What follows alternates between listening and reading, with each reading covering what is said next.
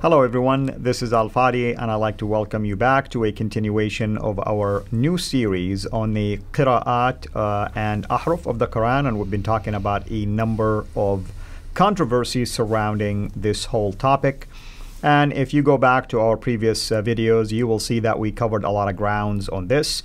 With me here uh, is no other than Dr. Jay Smith, who've done an amazing job, of course, as always uh, in assisting you as the viewers to be able to understand some of these technical terms and the process and also some of the traditions surrounding this entire topic. For me, of course, I can relate to that as someone who grew up in uh, a Muslim and grew up in Saudi Arabia and was able to at least uh, study some of these things, although my understanding of these qira'at was totally different than what findings today are telling all of us basically concerning the preservation and the integrity of this book called the Quran. With that in mind, uh, Dr. Jay, thank you again for being mm. with us here. Um, today, I believe you are going to address what you uh, called the 30 variant Qurans. And as you know, uh, if I would have been a Muslim right now, I would have been shocked to hear you say there is 30. Yeah, I would have been shocked to see you uh, hear you say there is two different Qurans. Yeah, and I can understand. And this is something yeah. that I feel sorry for a lot of Muslims who are watching. This may be a shock for many of them. Uh, this is understandable. If you've been told this one narrative and this is what all, this is what uh, the only thing you've ever been permitted to be told, uh, this is the only thing you're not permitted to question. You just believe there is only one Quran, and right. all the Qurans are exactly the same, same words, same letters, right. has never changed since the time of Uthman or the time of Muhammad, and the same that is in heaven. Now, suddenly to realize, hold on a minute, there's more than one Quran. We're talking about 30 official Qurans. What what 30 are we talking about? Let's go to the slide and let's look at the slide here. Here's your slide, and this is straight out of Wikipedia. Anybody can get it. So I'm not making this up. Anybody can go up to Wikipedia and you will see this list here. Not in this color, because this is I've color coded them so that to help you understand. Because you want I understand that some of this will go over the head of many people, so we want to really dumb it down to make it as simple as possible. Let's look at the first seven on the left in green. Look at those green ones there. So if you don't mind me just telling people, the left column are the original supposedly readers. The last two are what we call the transmitters. The transmitters, the narrators, yeah. the right. students, the rawis. Right. This is the riwayat. Now let's go to the left. Let's look at one, two, three, four, five, six, seven. Nafi from Medina, Ibn Kathir from Mecca, Abu Amr uh, from uh, from Basra, Ibn Amir from Damascus, Asim from Kufa, Hamza from Kufa, Al-Kasai from Kufa. So three from Kufa, one from Damascus, one from Basra, one from Mecca, and one from Medina, which seems to suggest Kufa is pretty important. That's right, absolutely. I mean, uh, it's amazing, isn't it? You should see Mecca's name and Medina They should all be from often. Mecca, Medina. Exactly. Every one of them should be from Mecca, Medina to be Qurayshi. Only two of them are from Mecca, Medina. The other five are from the wrong cities. They're from the wrong areas. We'll be getting to that. We'll be unpacking that later on. Who are the one that chose this guy? Look and see who chose them. The guy in black right below them, Ibn Mujahid. Absolutely. Now here we need to look at the dates, and we will be putting this on a timeline in other episodes. But just for tonight to introduce this, take a look at the dates. You can see uh, for Nafi, he died in 785. Ibn Kathir, 738. Abu Amr, 770. Ibn Amir, 736. He's got, let me just look right here. And this is the, this is Ibn Amir right here. This is the guy right here we're talking about. And he is Ibn Amir, 736. He is the earliest. So I've got him. You have him. You can buy them. I just got these two weeks ago. You can see it's all in Arabic, is it not? It is, and also it's color coded for in terms of the different readings, and sometimes they have it on the side, on the margin. So they're not they're being tri- quite transparent. You can buy these. I've heard so many Muslims say we're making this up. I've heard so many Muslims say these don't exist. I've heard so many Muslims say no, you you thought what you held up at Speaker's Corner back in 2016 was nothing more than just books that were blank. Uh, that you were just doing this just to try to mock us. No, folks, you can buy these. And if you get alquran.com, go and see it. You can see Alquran, alquranonline.com. You can actually buy them if you want to. And uh, if you all start buying them, they're going to have a huge killing. They're going to be, I'll probably get, I hope maybe they'll thank me for yeah, sending everybody to their site. But this is right here in Illinois, you can buy them. These are from Illinois. This is from America. So if I can get them here in the United States, and here you can see there are seven of them. I just ordered one about 10 minutes ago. That's going to be called Duri is coming. That's going to be coming in a week. So as more come up, I'll keep ordering them. Hattun is, and I'll be getting to her a little bit later. She bought many more than this. So this is the earliest, 736. Look at the date, 736. What's interesting is those were all chosen by Ibn Mujahid, what is his date? Look and see what his date is. 936. Muhammad died in 632, So we're talking about 300 years later. at least. So these were not even chosen for another 300 years after Muhammad. And let's stop here. In five, uh, in in six uh, fifty two, didn't Uthman also supposedly collect the Quran in a Qurayshi dialect and burned the other readings? Burned all of them. If you look at the seven that are there, these are the seven of the most of the, of the most important. Five of them are from the areas that Othman burned. They Right. should not be in that list. That's true. What are they doing there? That is true.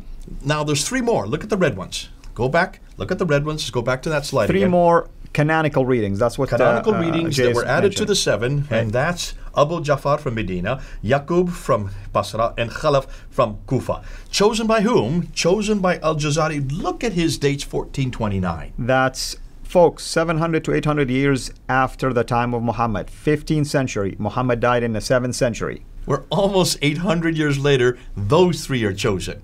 Now, when you look at those 10, Nafi, Ibn Kathir, Ibn Amr, Ibn Amir, Asim, Hamza, Qaisai, Abu Jafar, Yaqub, Khalaf, excuse me for my Arabic, what's missing there? What name's missing? Under the readers, uh, Hafs is the one that is missing. Because Hafs is the one. Here's the Hafs. This is the Hafs that we use all the time. That's the commonly used, the This is the 1924 edition. This is the 1920. This is the official canonical text since 1985, made official by King Fahd himself. It's known as the Fahd edition. It's known as Hafs as the guy that actually wrote the Arabic. In 796, he died. His name's not on that list, is he? He's not one of the readers. That's right. So there was a problem because there were so many of these starting to proliferate in the 8th, 9th, and 10th century that Ibn Mujahid in the 10th century had to choose two more from every one of these seven readers. And that's in the purple. Let's go put up the slide again. You can see the names. There's two different columns. Uh, they're starting with Kalun and Warsh. From uh, they were the readers or the narrators. I'm sorry, not the readers, the transmitters or the narrators or the rawis uh, underneath Nafi. Al-Bazi and Kunbul are from uh, uh, from Ibn Kathir. And we're going to get into this in more depth, so I don't want to go through all the names right now. Right. But I want to show you where Hafs is. There is Hafs there. Hafs suddenly appears. He is from Asim, and he is from Kufa. That's going to be problematic. We're going to that we'll be talking about later later. But so he is not even one of the official readers. He is nothing more than a narrator. He's nothing more than a student, as you call them. That's right. And, and again, uh, the, the idea I mean, here's what's so interesting is like you're told all the time these are their students, and you think, oh, the student, of course, I'm passionate about my teacher. I want to be with them. I want to learn from them. They mentor me. And that's why I want to carry on their legacy. And you want to carry on their writing. That's right. You would write the same thing they wrote, right? But what we're finding out is these guys are even They have days hundreds. later, you know, They have thousands. they couldn't have lived with their teachers. And they had they not only are they not from the same century, many of them they they never knew their readers. They didn't even follow what their readers were writing. Yeah, but, that's, that's why you have multiple ones. That's why we're know. gonna. That's why we're gonna get. Now I just want to show you the next slide. Let's go back to the slides again. And uh, here is the 23, or the 23 that Bernie Powers has now collected down in Australia. Uh, he was on the live stream with me a few weeks ago uh, there at Pfander Films. Right. He has spent, and his team have spent an enormous amount of time, I don't know how many years, going through these 23 and unpacking. But specifically, they have looked at the Warsh and the Hafs. We're going to be getting that uh, to that later in another episode to see what they have found between these Right. two. But I, I really want to come back to Hatun. Hatun is the one I really want to highlight because Hatun is the one that has helped me out more than else. We're talking about Hatun Tash, who was my colleague. We were on the ladder together. She was always next to me uh, there at Speaker's Corner every Sunday. And she was the one that actually started collecting these back in 2013, 2014, going around the Arab world, not herself. She would send other people that uh, to find them. And she came up with this list of 26. So I'm just going to look at the 26. As I put them up, why don't you just go ahead and, and read them? Because I'm going to desecrate the Arabic. We'll You- read few of them. You know, Okay. we don't have to read all. Uh, so there's the first first one? So uh, this one uh, basically riwayat Susi. Okay. Uh, this one uh, uh riwayat Hafs an Asim, uh, basically uh, Abi Ja'far. Okay. So, and he is he is actually a reader. Yeah. here uh, Yaqub. Okay, let's go to this guy. Yeah, this one is uh, Duri. He's not the only one. There's another one of his coming up. Uh, and you have a Basri in there as well. You have Ibn Amir in here. Uh, here we have uh, Khalaf, basically, on Tariq al-Durra. Uh, you have Al-Layth ibn Khalid and um, uh, Warsh and Nafi' Tariq al-Azraq. And here's another Warsh. That's an Asbahani. Asbahani.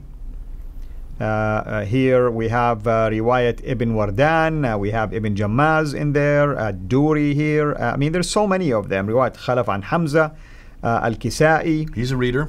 Right? Uh, Shoba. He is a narrator. Yeah, Ibn Kathir.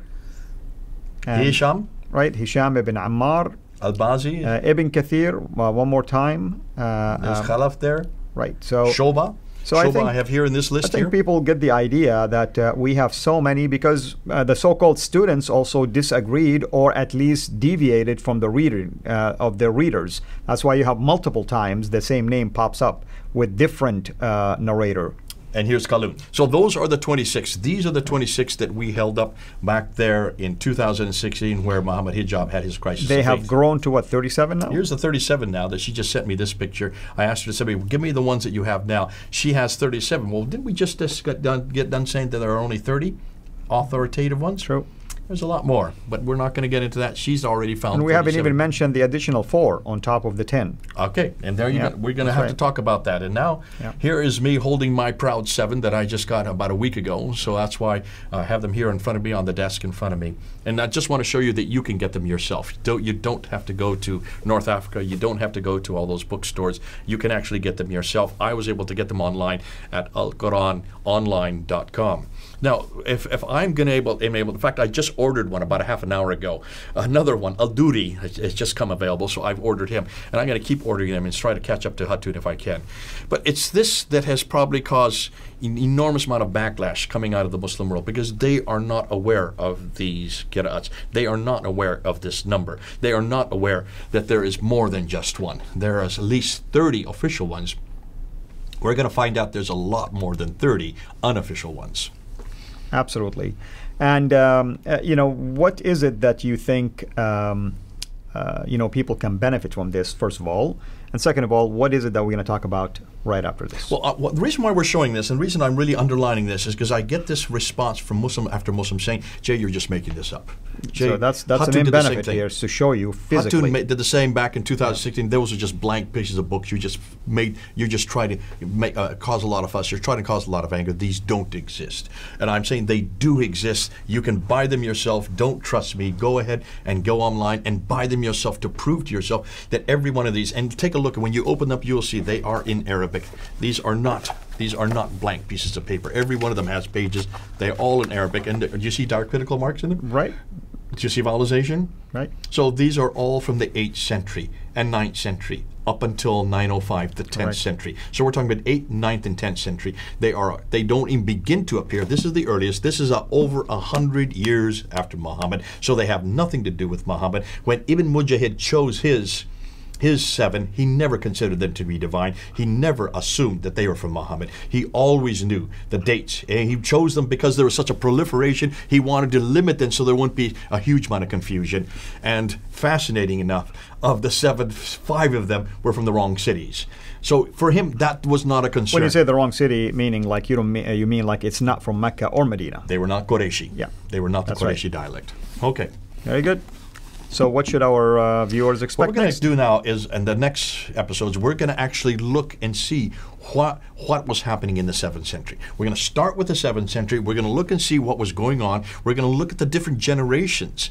We're, we're talking about sometimes four, sometimes five generations of single strand, single strand isnad between Muhammad and when these qira'ats start to appear, which goes against everything we know about isnad. Isnad has to be multiple strands. you have a chain of yeah, narrators. multiple change. Yes. The more, the better, because the more popular it is. That's right. And then we're going to actually go and we're going to look and see some of the real problems from the seventh century, and I'm, that's where we're going to look and ask what in the world was happening at the time of Muhammad, what in the world was happening at the time of Uthman. From then, we're going to go to a whole nother episode looking at the 8th century when these start to appear. And then we're going to look at them on a timeline. We're going to start putting timelines out so you can actually see how many how many years we're talking about. This is not from the time of Muhammad. This is much, much, much, much later. Thank you as always, and hopefully everyone is, uh, uh, you know, we're whetting your appetite right here. Hopefully you're excited about what uh, you're uh, hearing. By the way, folks, uh, those series, I mean, it's we, we've done a number of series in the Quran so far, so we're gonna add this to the same series. We may have uh, multiple playlists within that, but these are very academic and you are gonna benefit a great deal from them and hopefully you can even use them in your own circle and also use them with your muslim friends because these are very damaging to the idea that the quran is a preserved book and therefore if it is not a preserved book we want the muslim people to come to the real book the bible and the real man that's our lord jesus christ thank you so much for watching until uh, we see you again uh, next time have a blessed day Thank you for watching this video. Be sure to like and subscribe to our channel CIRA International. Also click on the bell so that you can receive notifications whenever we publish a new video or we go live. And I would like to appeal to you to consider becoming a Patreon patron by clicking on the link right below and that way you can give towards the production of these videos. There are also other options for you on how you can give to our channel. So thank you from the bottom of my heart.